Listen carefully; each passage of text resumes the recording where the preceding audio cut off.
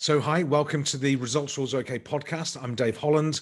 And in, in sort of the spirit of, of attracting and speaking with successful, interesting, creative entrepreneurs, uh, my pleasure today to introduce you to uh, Denise Gosney, who is the founder, CEO, managing director, boss, leader, uh, team spirit visionary for Razzamataz over in the UK. So, uh, Denise, welcome to the call. Please say hello. Good morning, David. Thank you so much for inviting me on. It's lovely to be here today. Good morning, and I understand you're sat in the fabulous north of north of England in the in the, in the rain and the fog, yeah. or is it not so bad?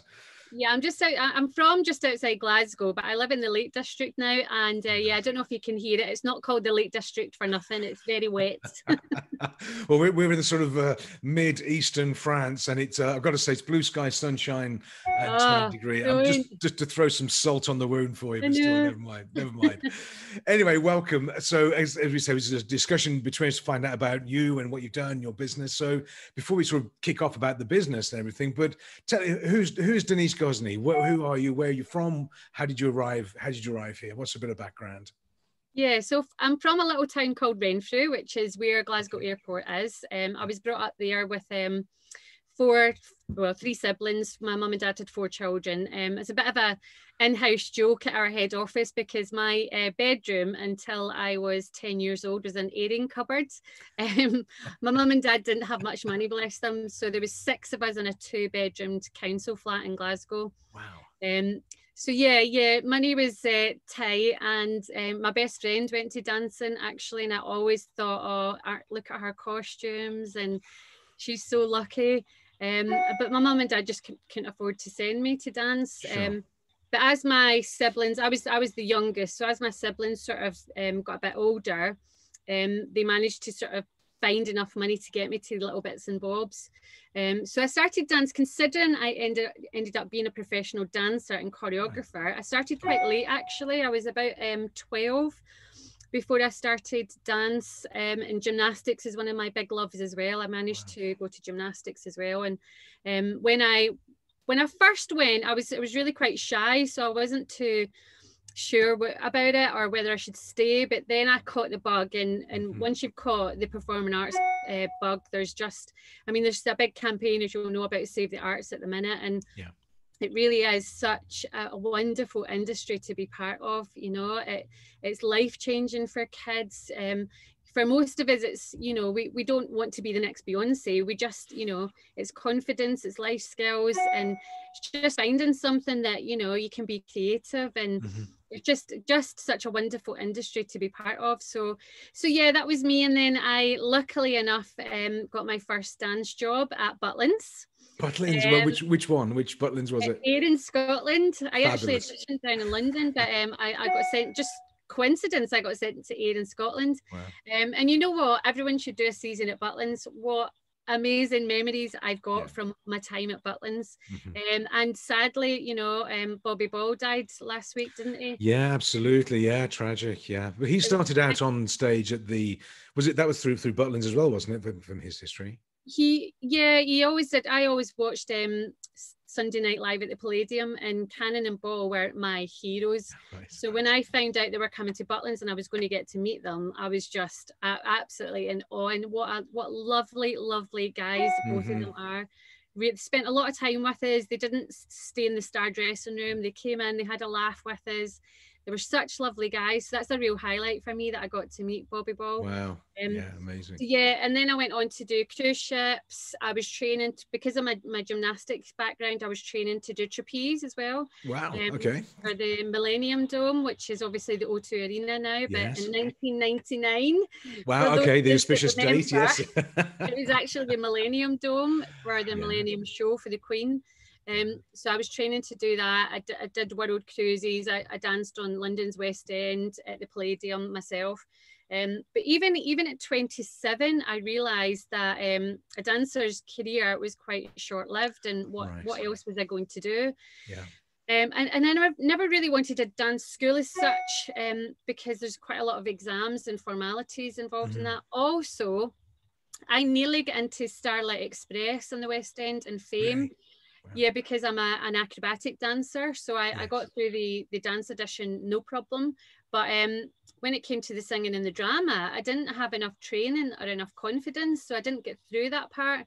And going back to my Butlins days, away back, I mean, we're talking 30 years ago now. Uh-huh. It, it, was very much like the variety shows where the dancers danced, you know, the comedians did their bit, the singers yeah. did their bit.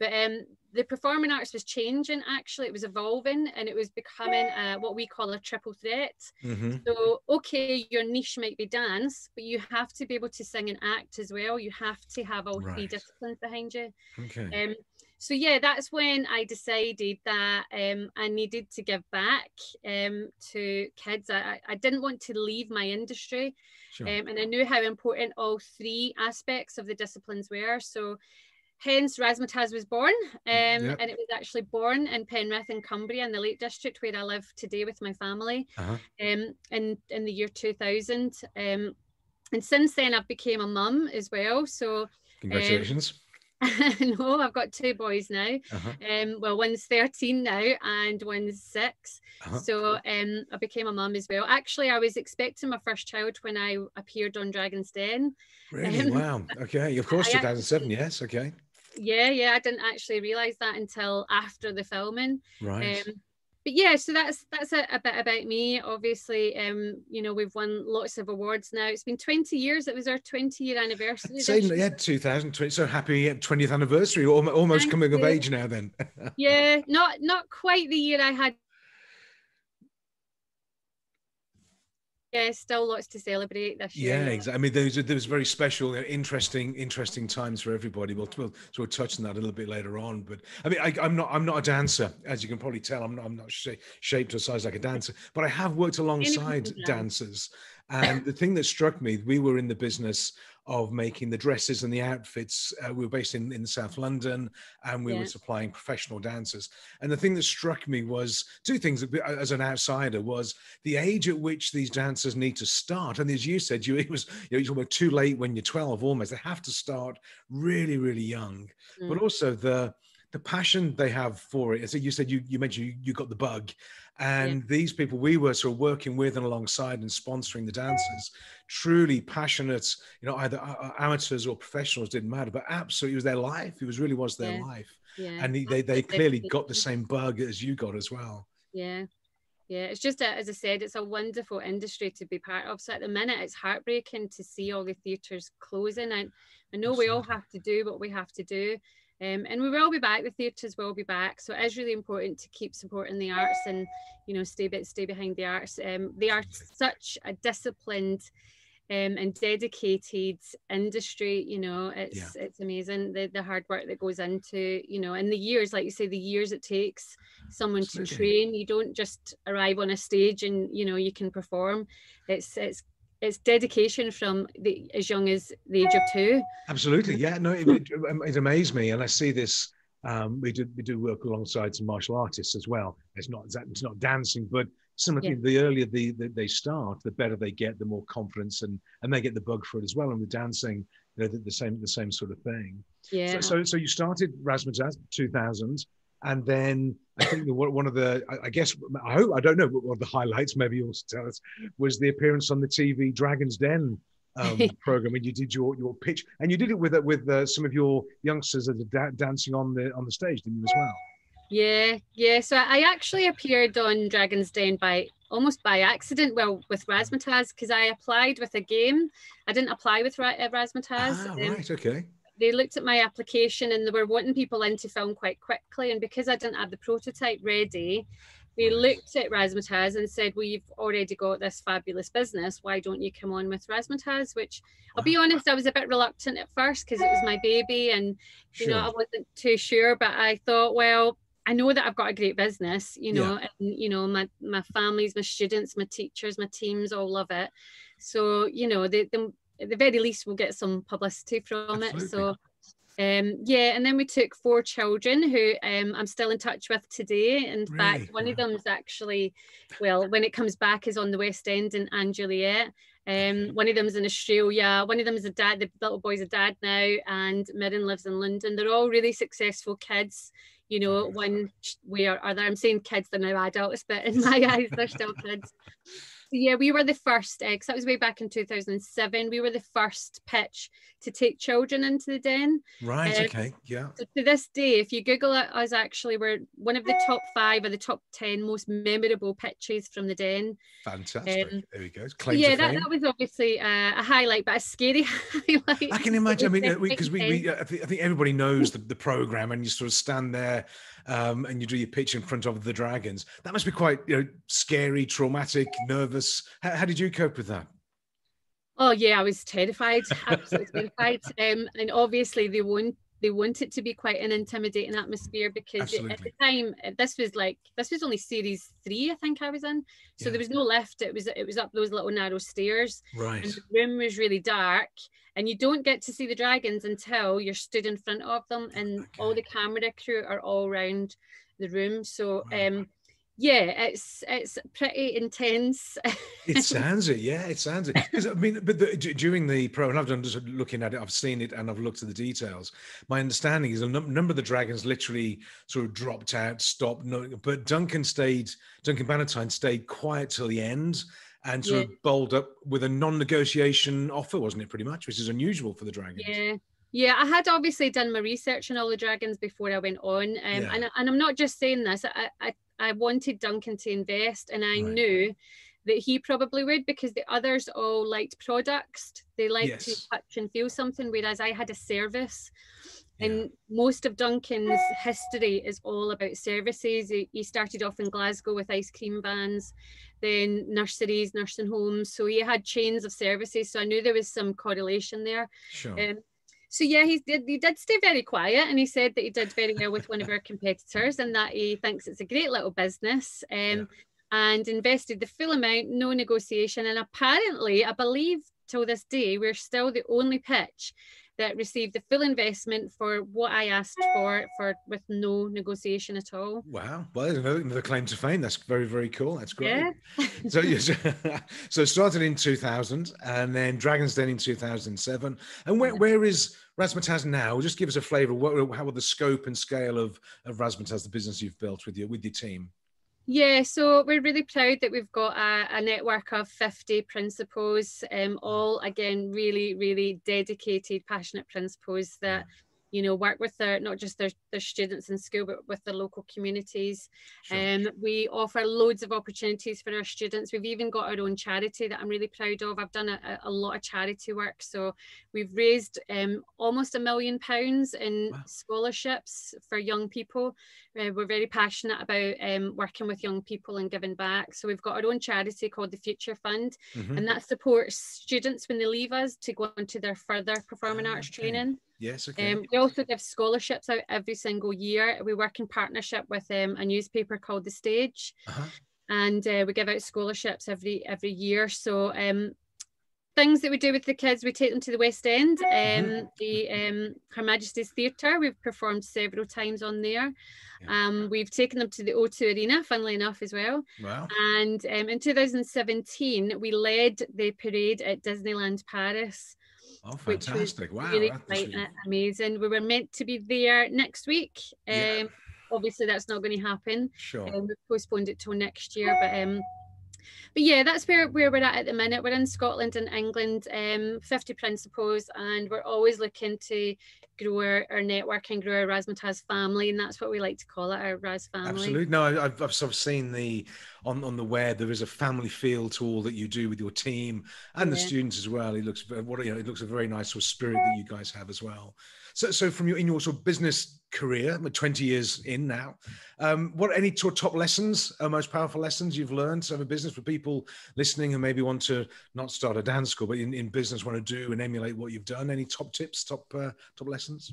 Yeah, definitely surround yourself with good people. Um, right. I've had the same team literally since day one.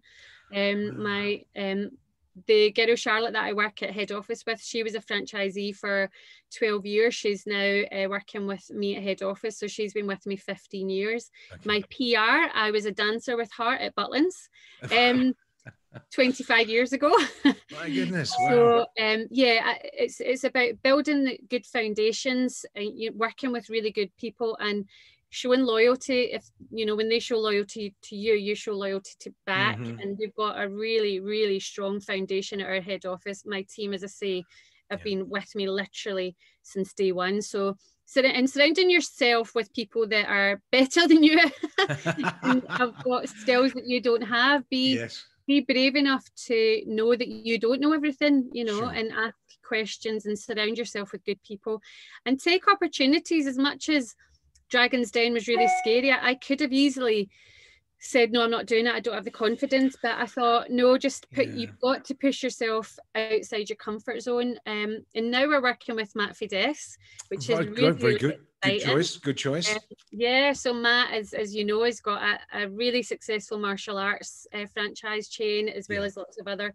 um, bits and bobs. So working with Matt in the last couple of months after lockdown has been absolutely fantastic. And I mm. reached out to Matt, so just don't be scared to reach out to people. Mm. You know what? What's yeah. the worst that they can say? No, I'm yeah. too busy, or no, I can't work with you. So yeah, ask always ask, always be a student, always ask questions. Mm. Yeah, and I think one of the things, and I see doing what I do, I see this a lot in terms of you know success and opportunity they don't always come through the normal, natural, predicted routes, do they? You have to you meet people in a cafe, on a train, when we were allowed to go out anyway. But it's yeah. also sometimes they're not quite planned and predictable. But if you say no to everything, you're never going to have these other opportunities. Absolutely. And um, one, one of the ladies we work with uh, in, in, in Luxembourg, she runs a, a dating agency and uh, Lux Dates. And one of the things that she says is that people meet, but not they don't you, don't meet your life partner in a bar, not or, or, you meet them at a bus stop, you meet them at a friend's party, you meet them very strange places, and you've mm. got to open yourself up to these sort of opportunities. And, yeah. and, the same in business, I think, isn't it? You got to be open to all things, and you know we've got to we've got to kiss some frogs as well. But if you don't say yes to some opportunities, you're never going to get the opportunities coming along either. So uh, it sounds like it's true for you. yeah, yeah, and lockdown has actually brought some positives as well. You mm-hmm. know, we've formed alliances with a lot of our competitors actually, who you know previously you might have stood back a little bit and, and seen them as only competitors but, sure. but we've actually all came together to help each other and support each other which has been really lovely actually because yeah. we all offer something slightly different and sure. you know we're all facing the same challenges yeah. so it's it's been lovely to help and support each other I think I think this this this lockdown COVID has been it's been traumatic and horrible in lots in lots of ways for lots of people. And it is tough, but people are collaborating and supporting and being more open and you know we're all, we're all just business owner entrepreneurs making our way aren't we? And we may as well help each other get through this. And you know when, when it's all done and gone okay we can go back into sort of growth and competition mode. But yeah. yeah that collaboration i think is really yeah. good to see right now. And yeah. so, so, so what's what's next for for razzamataz you've got you know 50 um, head franchise franchisees in the in the uk what's next for Razzamataz? Where do you see the business going when the lockdown has ended, perhaps? yeah, we've got, well, as I said, we're working with um, Matt Fiddes. Mm. We've got some really exciting plans for our franchisees Great. Um, that I can't reveal today. I'm sorry, David. Because That's okay. I won't. All right. Okay. with them yet, but we've got some. We've been working really hard with Matt. I think yeah. the danger after something like this, we've all gone through a trauma, mm. and I hmm. think the danger is you can hit a bit of a plateau and yeah. and you can almost think you're exhausted but you can almost think oh what now? Absolutely. So we've been working really hard with matt. We've got some really exciting plans to make our franchisees bulletproof you know future proof their business yeah. make them more, much more profitable and really so that's we've got some really exciting plans in the pipeline um, that we're going to we're going to share um, soon. And just as i said growing our network our main aim is getting our franchisees back to their pre-covid numbers yeah. which to be honest, before Saturday's announcement, most of them had already done anyway. Yeah, exactly. Um, yeah. In fact, most of them were smashing their pre-COVID numbers. I mean, I'm I'm a, a parent myself, and my little my little six year old has got type one diabetes, so mm. um, he's classed as kind of high risk. My other child um, had a splenectomy and he's got asthma. Right. Um, but for both of them, they're back at school. They're back at tons of activities because I want my I don't want my kids to miss out on a year, two years of their life. Absolutely. Yeah. My son loves football; it's his passion. Okay. So we made a decision halfway through lockdown that unless we pre- we're prepared to lock ourselves in our house until this is over, yeah. we have to carry on. We Absolutely. have to obviously protect the vulnerable. That's really Sure. important that we all do our bit to protect the vulnerable. But um, it's it's important to get back out and get kids active again. And Absolutely. You know, their, their Yeah. mental health is suffering too. So it's really important to just find that that balance. I think we, we're, we're social creatures, aren't we? We need to be active and amongst people as much as possible. We need to be out there and, and as you say, do whatever you can within the constraints and bring sort of some normality, really. So, and what team does your, your your lad support? Can you say or? Um, I think it's Real Madrid actually. Not Real not Madrid. Madrid. My goodness, I thought it could be. I thought it, I thought it might be one of the Glasgow teams. That was all. But anyway, Real Madrid. Okay, pretty good choice. no, definitely not. No, no, no. Um, none of the Glasgow teams, and I best not say who I support.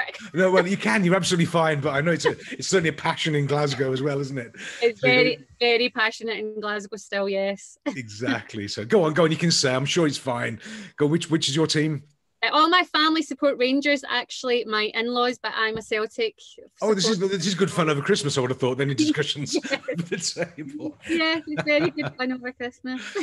Uh, well, like for, for my sins, I'm a, I'm an Aston Villa follower, supporter, and uh, they were down in the Championship and back up again, and then they beat Liverpool, and then we got we crashed over the weekend to Southampton. So it's a real real journey. Ah, yeah. guys, anyway. Yeah, my husband was watching that the way He's Sheffield. He's Okay, Sheffield- yeah. Well, nobody's perfect, but that's okay. I know. Thankfully, he's not that into football. Um, because I don't think they're. Um, I, well, I, I don't really follow football that much. No, being a Villa fan, I'm not really into football either. just, just one of those things, but still.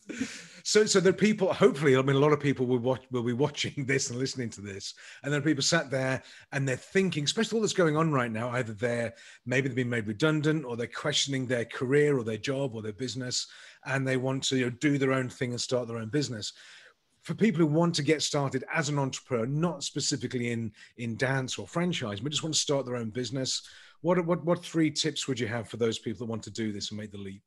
Yeah, definitely do your research. Mhm. Um, you know, um, I had another business actually nothing to do with this, um, and I probably, being honest, didn't do my research enough, um, and that's always a, a big mistake at the start. So, do your research. You know, do your sort of demographics, your customer focus groups if you can.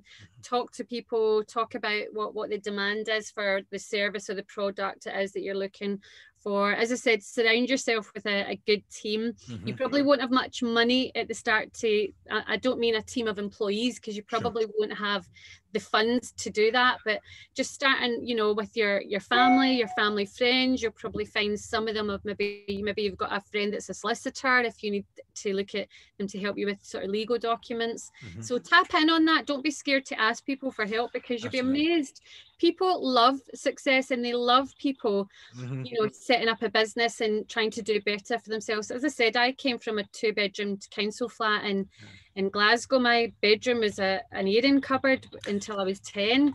So, uh, you know, to see, you know, I'm proud of myself to see where I've, I've Absolutely, yeah, from that, you know. So Yeah. people do love that. They love a success story. So don't be scared to ask questions. Don't be scared to ask for help.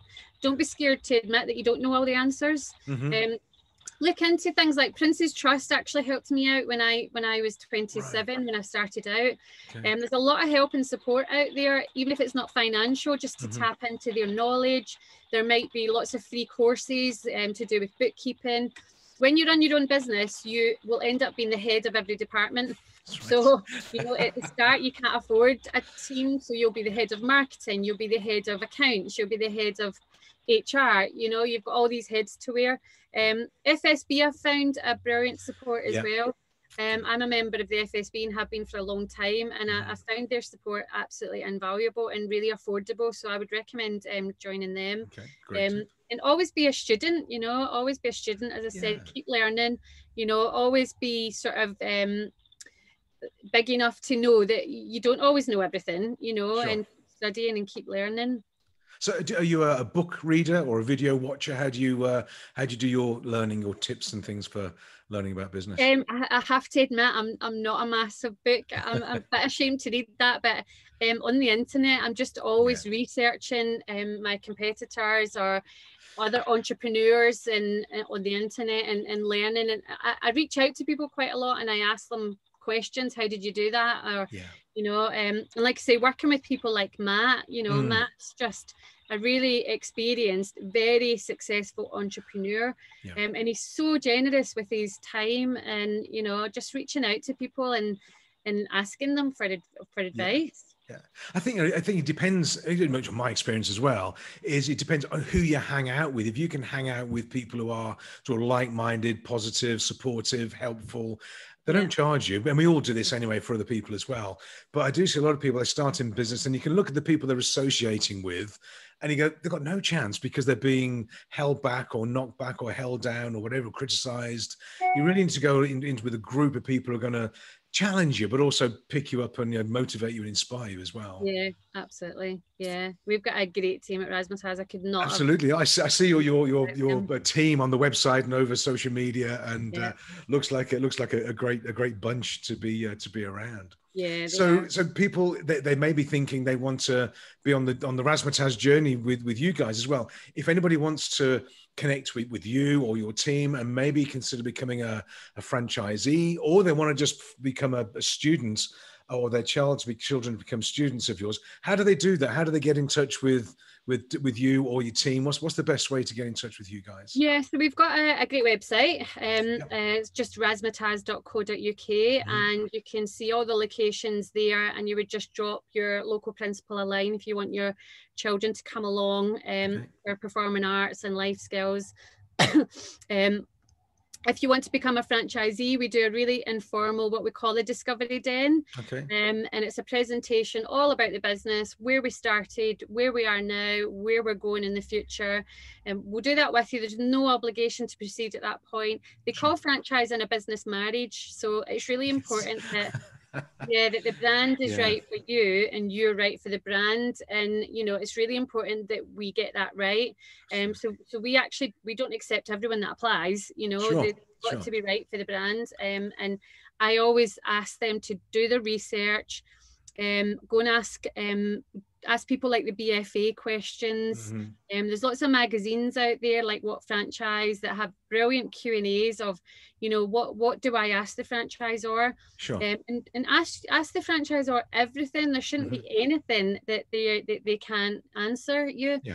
Um, and speak to that network. What is the support like? What what what are you? Do you enjoy being a franchisee? Are you getting the support that you were promised at the start? Yeah. Um, obviously looking at the financial projections, everything like that. Um, but yeah, they can get in touch with us just at franchise at razzamataz.co.uk. Okay. Um, as I say, it's really informal at the start. We we like to make that um, the due diligence a, a journey in itself. Yes. Um, and ask as many questions as possible. And there's never any pressure from us. It's it, you should only sign when you're in the right position mm-hmm. with the finance behind you, the right you know mindset and time to make that business a success.